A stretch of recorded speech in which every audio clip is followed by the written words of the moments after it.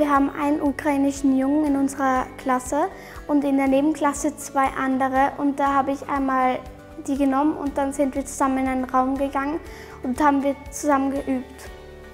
Also die schönsten Momente sind definitiv, wenn man bei den Kindern sieht, jetzt hat irgendwas funktioniert, jetzt hat das Kind etwas verstanden und natürlich, wenn man mit den Kindern auch lachen kann.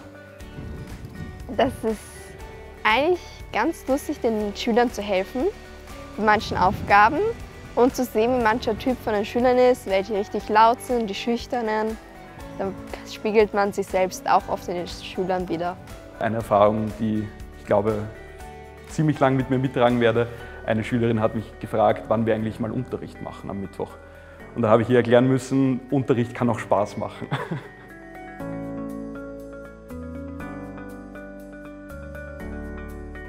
Also meine Klassenvorständin hat es mir angeboten und da dachte ich mir, weil ich ja eh Lehrerin werden will, überlege ich es mir halt mal.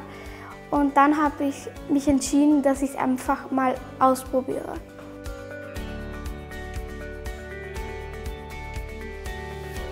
Ja, die Buddies, die sind ja mitten im Unterrichtsgeschehen dabei. Sie bekommen mit, wie der Unterricht so läuft, wie der Unterricht abläuft und sie lernen einmal kennen, wie das aus Lehrerperspektive ist. Also wie die Lehrperson mit verschiedenen Konfliktsituationen umgeht und ganz einfach, wie sich der Unterricht von der Seite der Lehrperson gestaltet.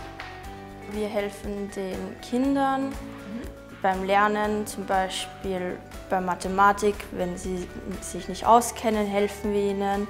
Wir erklären es ihnen nochmal, wenn sie es nicht verstanden haben, um einfach generell für sie da zu sein.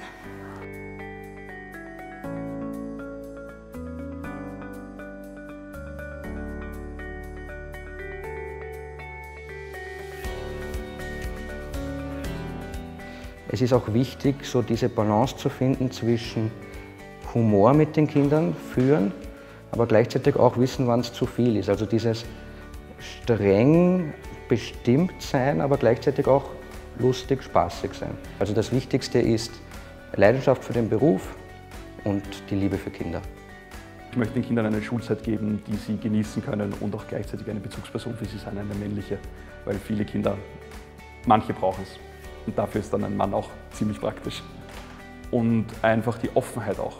Einfach offen sein für die jetzige Situation von den Kindern, die Tagesverfassung respektieren und darauf individuell anpassen, weil jeder kann einen schlechten Tag haben. Kinder auch. Ich glaube eigentlich gute Nerven, weil die Kinder können immer sehr laut werden und halt wild.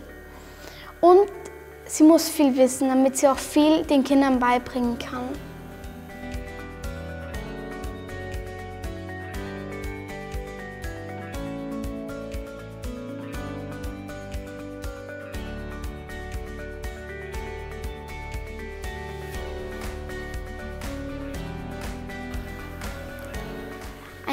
Ein guter Buddy kann sich in die anderen Kinder hineinversetzen und wie es ihnen geht, mit zum Beispiel Fächern, wo sie Probleme haben, dass man ihnen hilft.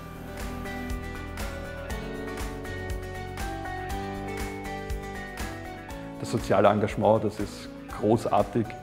Ein Kind, das in seinen so jungen Jahren bereits weiß, wie es helfen kann und wie es dem Kind möglich ist, anderen Kindern zu helfen und auch die Bereitschaft da ist,